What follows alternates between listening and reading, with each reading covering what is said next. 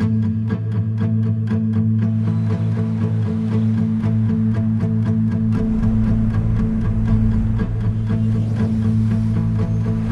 food system is out of balance. We've got to figure out a way to, to have you know, higher quality foods using less resources, period, or it's not going to work. So it's really going to take a grassroots effort, honestly. Instead of fighting the model, we're just going to have to change it.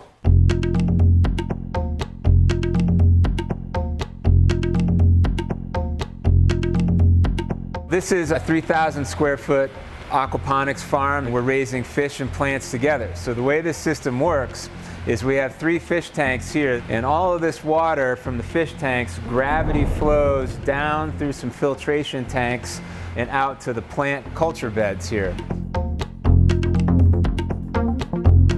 The water kind of zigzags its way up and down to the troughs and once it gets to the far end of the trough, it flows into a sump tank and a single pump lifts that back up to the fish tank. Whew. These are all nice looking, healthy, one and a half to two pound hybrid striped bass here. Bringing the fish into the equation is a huge driver for us because not only uh, an additional revenue source, but it's a cheaper source of nutrients or fertilizer, if you will, than typical hydroponic uh, solutions. And agriculture, in a general sense, is the largest consumer of water worldwide. In the farm, we have about 11,000 gallons of water in total. And that water is recirculating on a single pump over and over and over again. The metrics that are commonly out there is that in aquaponics you can use 5 to 10% of the water that you would otherwise use in traditional soil-based agriculture, which is one-time use. It's in the ground, it's gone.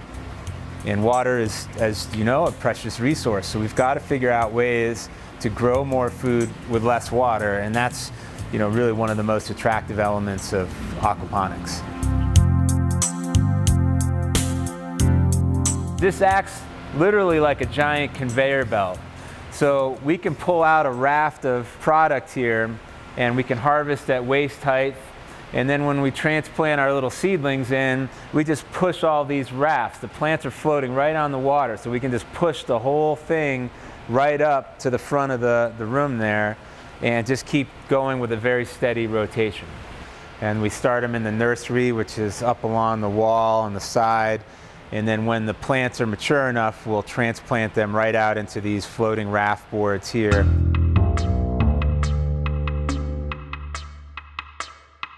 We uh, service restaurants and markets that are all within five miles of the farm. That's an important metric for us. A lot of what we do is based upon uh, their demands, the products that they really need week in and week out. We don't sell at retail prices, it's not wholesale, it's somewhere in between. We work that out with the restaurants to make sure, obviously, it's mutually beneficial for both parties.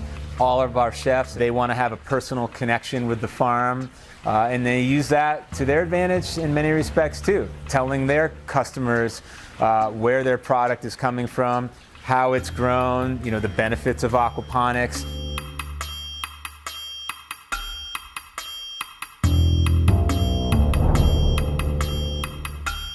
The business model for the farm is, is really set up around you know, plant and fish revenues and anything else is a derivative of the farm, uh, period.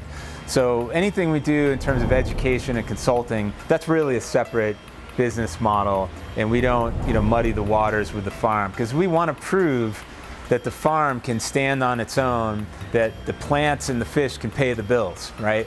So that this farm, we have labor, which is the, the highest expense, we have utilities, uh, we pay rent here, of course, fish feed, plant seeds, that kind of stuff that, that this farm can economically be self-sustaining because obviously the economics to this is a huge part of the sustainability equation. If it can't hold itself on its own, then how sustainable is that really?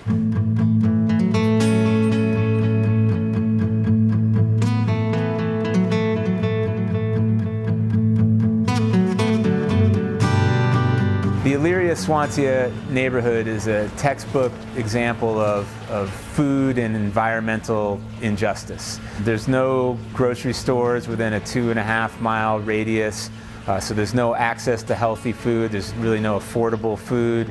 The most polluted zip code in Colorado. It's surrounded by industry and commerce.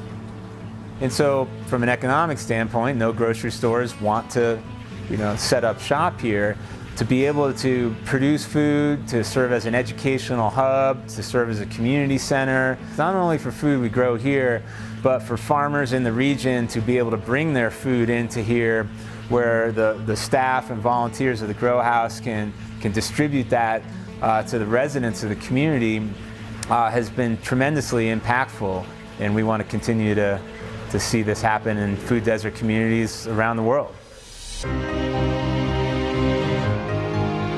There needs to be investment in sustainable farming technologies, making land available to do larger scale aquaponics farms, serving our local markets, maybe help with water and utility costs, some of the major economic barriers, then we can really start cranking out a ton of food and keeping it in state.